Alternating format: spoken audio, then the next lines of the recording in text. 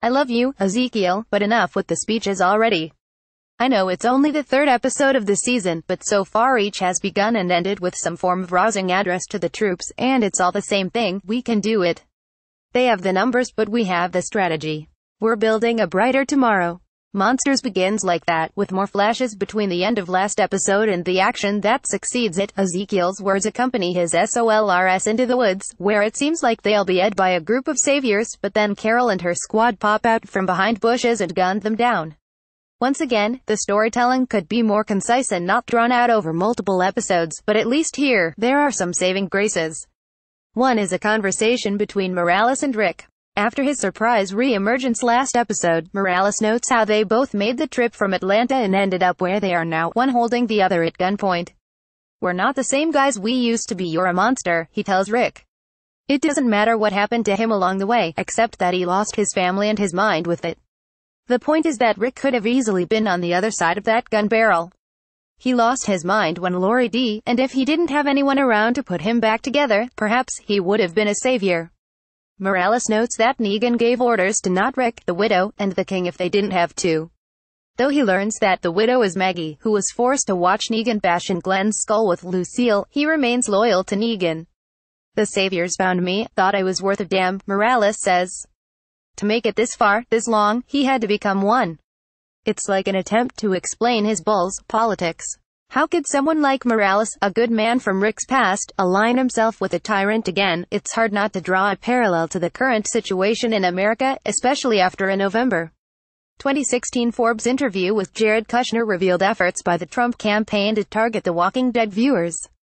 Negan felt different, a different kind of cruel, after Donald Trump was elected president, and the language sometimes used to explain Trump's supporters is similar to Morales' list of reasons for becoming a savior. Morales felt forgotten, he felt lost, and someone came along when he was destitute with promises of purpose and making him something more than he is. And no matter what Rick says, you can talk all you want, it's not going to change his mind. We're two a-holes, Morales says. The only difference between them is that one just got luckier. Daryl puts an end to this chat when he fires an arrow into Morales' neck, but the Rick of the Ricktatorship days is already slipping into a more merciful mindset. Daryl is there to snap him back. He knows he just dead Morales but it doesn't matter, not one bit because he's with Negan, and Negan is a cancer that needs to be forced out. Another ongoing issue is the character's poor decision-making SS. Andrew Lincoln himself joked at New York Comic Con that it's been a problem for Rick.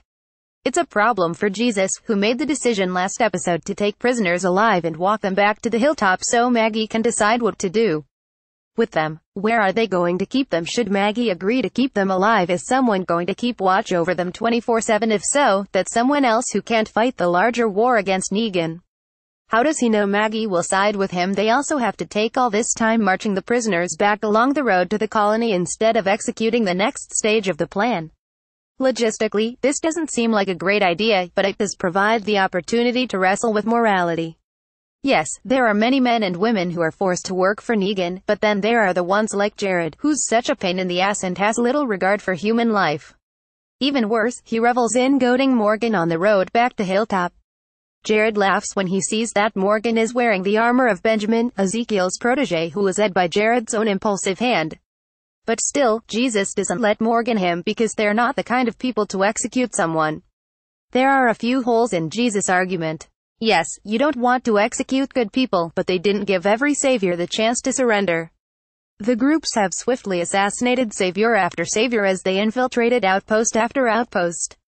Then, there's the fact that every time they try to find another way to let a savior live, it backfires the one who peed himself last episode, and who now lies unconscious in the back of Tara's truck, is still fresh in their minds.